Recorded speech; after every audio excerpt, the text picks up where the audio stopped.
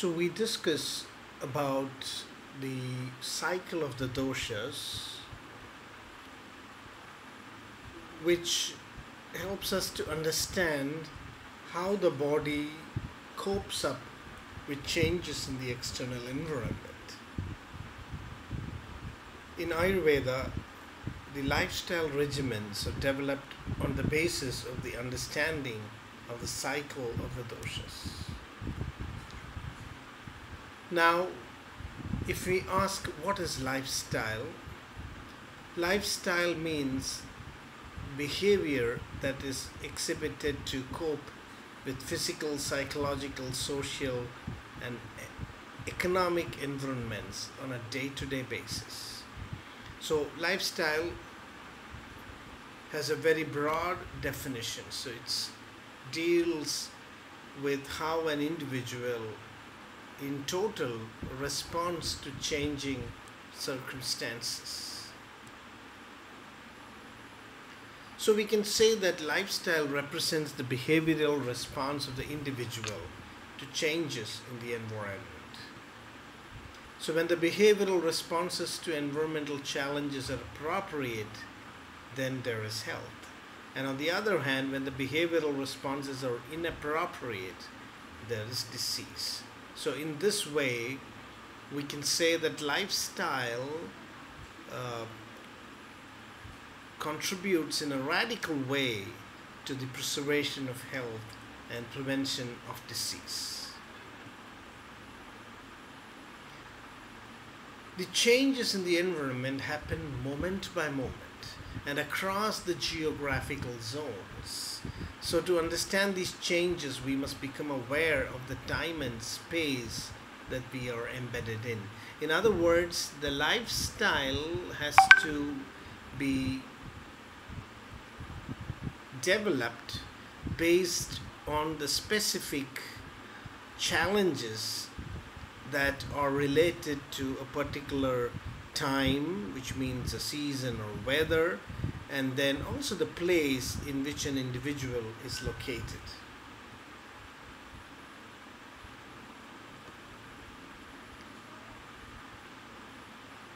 So, the first principle in cultivating lifestyle is to understand the environment in terms of time and space, and this helps us to develop a response in the most appropriate manner. Our environment is in a flux, which means it's changing continuously. The changes uh, happen during day and night and throughout the year. So these creates what we can call as the diurnal patterns, the diurnal, you know, cycles, which are uh, happening on a day to day basis and then the seasonal cycles. So, to develop a healthy lifestyle, we have to first of all understand what happens in the environment, you know, on a day and night basis as well as throughout the seasons. And when we understand these changes, then we are able to plan and modify our lifestyle. So, Ayurveda basically advocates a dynamic approach to lifestyle, which means it says that our lifestyle has to be continuously adapted to changing conditions in the external environment.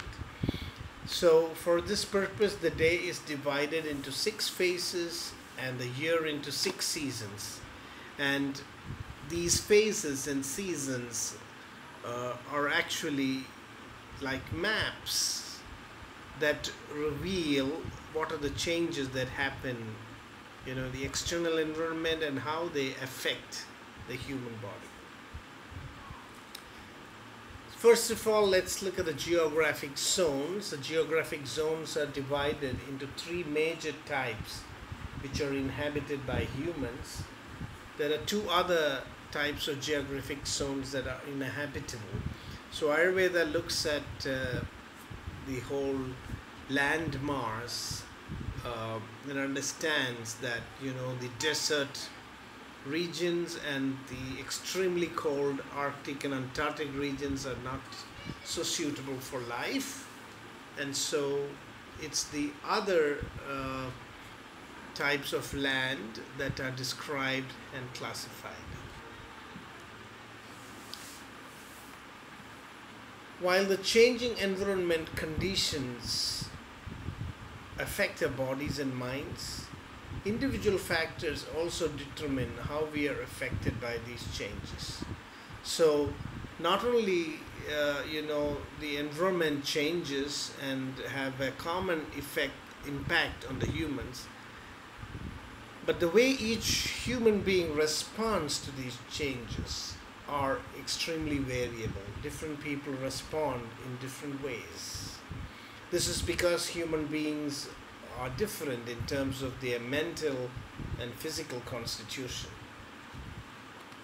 So, human personality is complex and is understood in terms of race, inheritance, place, time, age, body, and mind. And out of these, the mental and physical constitutions are more important in the context of health and disease, and we study the constitution of individuals to predict how they would respond to specific changes in the environment and what type of lifestyle would be most suited for them. Uh, so, healthy lifestyle in Ayurveda therefore means two things to develop a mindset and behavioral regimen that is, first of all, in tune with one's own constitution and at the same time appropriate to the changes that happen in the external environment. So, this is the principle that governs the Ayurvedic approach to developing a healthy lifestyle. Understanding one's constitution and therefore get being able to predict how environmental changes will affect oneself and then accordingly adjusting lifestyle. So this is the and also taking into consideration the place where one is living. So these three uh, uh, variables form the basis for developing a healthy lifestyle in Ayurveda. So there are a lot of examples of how people, when they live, uh, you know, according to these principles, they are able to you know cultivate good health and prevent disease. So there are still some pockets on earth where people are leading simple lives and cultivating a healthy lifestyle. For example the the people of the hunza valley which is presently in pakistan we can say are living examples of such a you know healthy lifestyle which has been developed so naturally so here is a picture of the people of the Hunza Valley and uh, they are really blessed by nature in many ways. So the Shimshal lake uh, in the Hunza Valley is also you know heart shaped which uh, is quite symbolic. Now what's so special about these people? Now if you look at the Hunzas they live up to 120 years and they are known to give birth at 65 and they do not have tumor. How and why? Because you know they are mentally very relaxed they are smiling they are lively they are strong and they are able to maintain their youthfulness uh, much ahead into their old years than other people in the world so they live in the mountains of northern Pakistan and they are about 87,000 people. Uh, and you know, they are rarely sick. They do not know uh, what it means to be afflicted by many of the modern diseases that afflict human modern society. And the women are also able to give birth at very advanced ages, like you know, at 65 so they are actually the living proof of how good diet and lifestyle can really help human beings to enjoy high quality life. Now, if you look at it, one of the important lessons that we learn from the Hunzas is that they eat only the food that they are growing. So they eat raw fruits and vegetables, nuts, a lot of dried apricots, a variety of cereals, and of course also cheese, milk, and eggs. They walk a lot and eat little. They do not have snack, they just have breakfast and lunch. Uh, so they don't eat much in the evening. For a period of two and four months, they almost do not eat anything, but only drink juice from dry apricots. So this is a, a tradition. This whole lifestyle has been developed as a tradition. And very interestingly, they rarely consume meat, and it can be just twice a year, and they eat only a little lamb or chicken. And a lot of medical specialists have investigated into the life of the Hunzas, and they all agree that uh, the the diet and lifestyle of these people is what makes them really different and you know long living and enjoying good health compared to other uh, societies.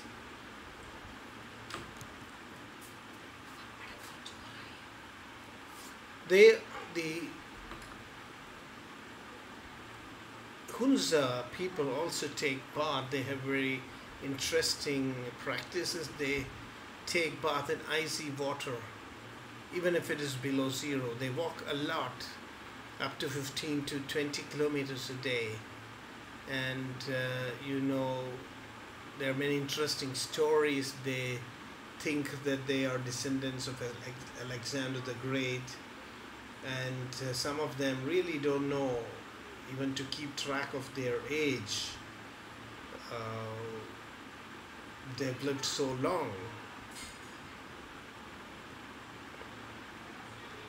so you can see some of these people how they look like.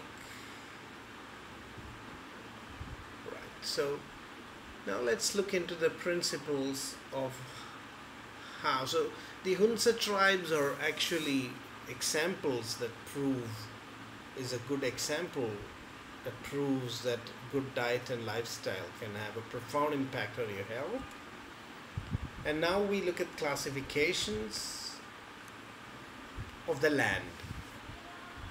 You just mentioned a little earlier that, you know, uh, human life is not possible where there is ice and in deserts. So these are the two extremes. And in between, we have the marshy land, the dry land, and the moderate land, which are actually based on the classification of the doshas. So you know, Iceland is extreme vata and desert land is extreme pitta. Both are not conducive to life. Marshy land is kapha dominant, kapha with a little of pitta, and dry land is vata, uh, maybe with a little association of kapha. And then the moderate land where there is a balance of all the three doshas. So, depending on which land you are living in, what type of geographical region one is living in, there is a constant, uh, you know, impact on your body. And based on a constitution, you are constantly interacting with the geographical location that you live in. So, this is how Ayurveda understands the interaction of the person with the external environment. And now if you look at the time, Ayurveda understands the movement of time in terms of, you know, energy cycles. I mean, there is energy expenditure. Six months in a year is the period of energy expenditure, loss of energy. It's a period from the rain. Uh, to winter is the period of energy preservation and the six months from late winter to summer is the period of energy expenditure. So energy expenditure happens begins at the end of winter and it continues to the end of summer and energy preservation happens with the beginning of rains and it continues up to the end of winter. So this is the the energy cycle in a year and this in ayurveda is related to the movement of the doshas so the movement of the doshas happen according to day according to night in the phase of the digestion as well as age so in the beginning is kapha, in the middle period is uh, pitta, and in the last phase is vata. Now, if you look at the location of the doshas in the body, the upper part is dominant with kapha, the middle part with pitta, and the lower part is vata. So, this is the sequence uh, of the doshas. The doshas are part of a dynamic process of change in the body representing conservation, transformation, and expenditure of energy. Now, if you look at the dosha cycles, you know, in the day and night, there is a continuous movement from kapha, pitta, vata, again kapha, pitta, vata, and this is what we also see in the seasons spring, summer, early rain, rain, autumn, winter, are again representing the movement of the doshas. Now, if you look at the doshas in the body, they are constantly increasing, showing a tendency for derangement, and then they normalize. So, increase, derangement, normalization. This is the natural cycle of the doshas.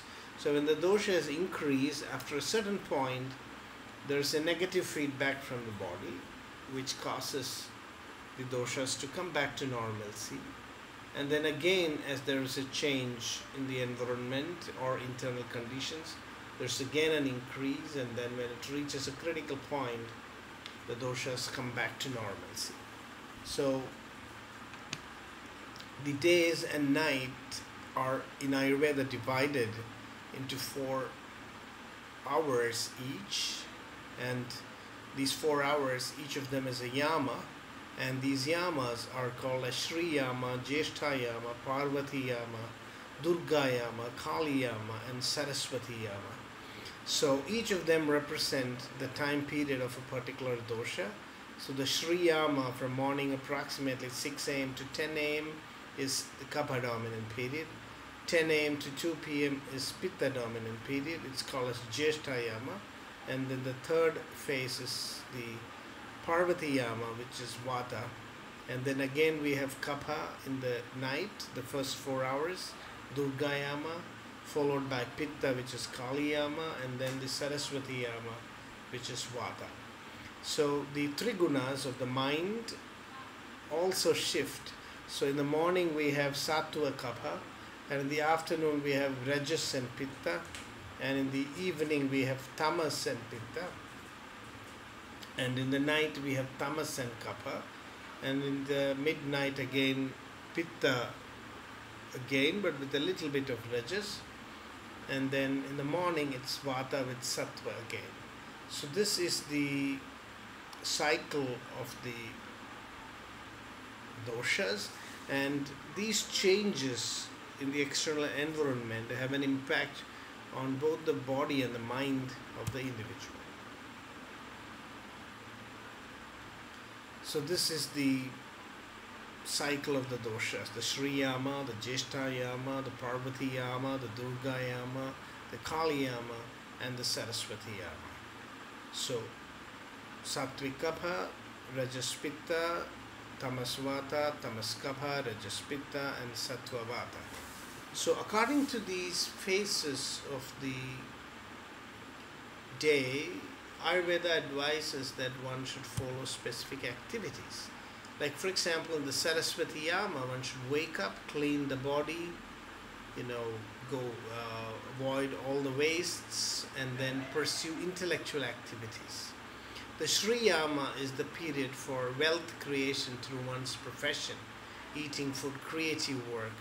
The Jeshta Yama is to be devoted for, you know, routine activities and repetitive work and Parvati Yama is for relaxation and recreation and Durga Yama is for exercise, martial arts and light food and Kaliyama is actually for deep sleep. So these uh, phases have been carefully identified based on the physiological responses. And so if you look at the daily routine, you know, Ayurveda advises a pattern of waking up, bowel movement, brushing teeth, eye ointment, cleansing the sense organs, nasal purge, gargling exercise, oil massage, bath, and food. So this is to be done in the early morning. Uh, the day begins by cleansing the body inside and out, and then taking food. Uh, so the point here is that in Ayurveda, the lifestyle has been developed on the basis of a deep understanding of human constitution, the location where one lives, and what changes happen in the external environment. Now, if you look at melatonin, sleep, and Kaliyama, there's a very interesting correlation. Kaliyama actually is the time the midnight between 10 p.m. and 2 a.m and this uh, modern physiology tells us that melatonin is called as the dark hormone, which is uh, usually, you know, released more as it gets darker. And around 9 p.m., uh, you know, it rises sharply, and that's when we normally begin to feel drowsy and uh, want to sleep. So the melatonin is also called as the dark hormone. It stays elevated for about 12 hours and as daylight comes in it slowly begins to fall back and uh, you know at daytime melatonin is hardly detectable in the blood. So melatonin is called as the dark hormone and if you see its effect is primarily in the period which Ayurveda has identified as Kaliyama and Kali is also known as the dark one. So melatonin is the dark hormone and Kali is the dark one. So you can see the correlation here. So uh, and Kali is also understood to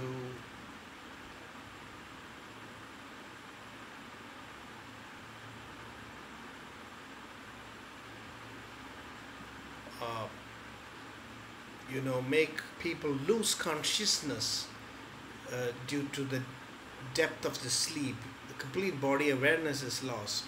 And this uh, can also be you know metaphorically compared uh, to the severing of one's head. You know if you look at it uh, in a symbolic way it's almost as kali uh, in the form of uh, melatonin you know severes our heads means makes us lose our awareness and fall asleep. So sleep is uh, very important according to Ayurveda. About one third. So one of the basic principles in Ayurvedic lifestyle is also you know regulating sleep is one of the three pillars of the lifestyle.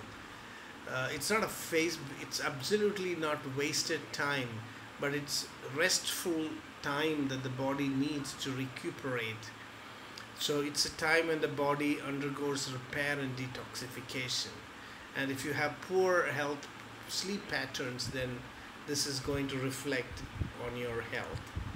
So those who sleep less than six hours a night have a shorter life expectancy than who sleep for longer. So this is what research studies point to.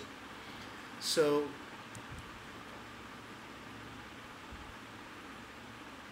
So during the waking hours, the body is in a catabolic state in which more energy is spent than conserved. So you're using up your body's resources. Uh, so a lot of hormones are, you know, active. But when we sleep, we move into an anabolic state in which energy conservation, repair, and growth take over. So really, the body is continuously shifting between catabolic and anabolic states and it's in the state of sleep that there's good repair. So a protein the HGH promotes growth maintenance and repair of muscles and bones you know during sleep. So every tissue in the body is renewed faster during sleep than at any time when awake. So it's well known that good sleep can help us you know fight infection more effectively and if you have good sleep you can also prevent uh, cancer. So people who are deprived of cancer i mean sorry deprived of sleep are known to develop you know cancer more easily. And then we have what is called as beauty sleep. The top layer of the skin uh, you know which is made of the closely packed dead cells are constantly shed during the day. So it's in the night that the body is able to repair the skin much more effectively when it when, when, we are sleeping. And so deep sleep if you really get deep sleep this deep sleep is also called as beauty sleep. So daytime sleep cannot compensate for the loss of night sleep as the energy needed for tissue repair is not available during when there's daylight. So for these reasons ayurveda considers sleep correct sleep as one of the foundations for a good uh, you know health healthy lifestyle. So next we try to understand how the uh, environment is affected during the seasons and according to ayurveda there's a continuous shift of heat moisture and cold.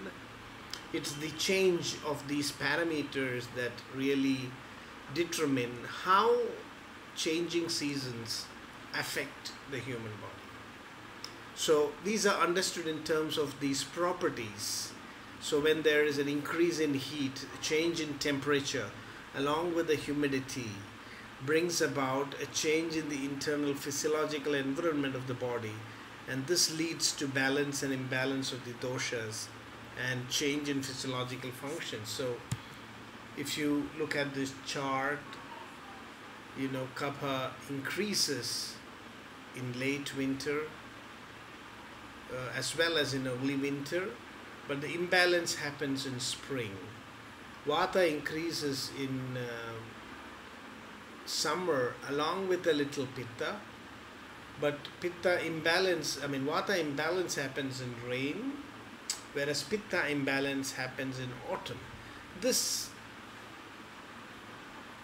uh, sequence of events can be understood only if we know the interplay of the gunas. The gunas are the physical chemical properties. There are they are represented by a continuum of 10 parameters which perhaps we will discuss you know in a future webinar but now for now it's just important to know in the next slide we show a schematic representation of how the gunas interact with each other and bring about changes in the body and at this point of time it's only an introduction so the whole concept may not be made clear by what is shown here but this is just as a way of illustration. So the gunas change. Now these uh, uh, symbols represent temperature heat and humidity moisture and dryness and it shows how the combination of the gunas and the different seasons cause shifts in the physical chemical matrix of the body and how the shift in this matrix leads to imbalance of the dosha. So this is what Ayurveda understands. This is a, a, a technical language through which Ayurveda understands how the en- environment influences and modifies the internal environment. So that is uh, enough to know for now what these gunas are and you know what is the mathematics behind this calculation is something which we can you know discuss in the future. So now we to summarize in summer vata increases. In rainy season vata gets deranged and pitta increases because vata increases by dry and hot properties and vata gets deranged by the cold season pitta increases by a combination of hot and moist properties which is After summer, when the rain comes, pitta increases. And then in the autumn, when the heat increases again, pitta gets deranged. In winter, kapha increases because of cold and moist properties. And in spring, when heat comes, it melts and goes out of balance. So, this is the cycle of the doshas according to seasons. So, the principle that we were trying to highlight is that lifestyle in Ayurveda is based on three things how the individual responds to continuous change in time and space. So, based on this understanding of how each individual can respond to a change in the time cycle as well as in the space in which the individual is living, we have to develop a healthy lifestyle. So, this is the introduction to development of a healthy lifestyle in Ayurveda. The bottom line is that there is no general lifestyle that is good for everyone all over the world. We cannot say that doing a particular thing is always good. Doing a particular thing according to the situation in an appropriate manner is what is healthy lifestyle. So Ayurveda talks about a dynamic and individualized lifestyle. So lifestyle has to be customized by considering individual constitution and the continuous changes that happen in over time and in the external environment. So that is the discussion today and uh, you can think about questions.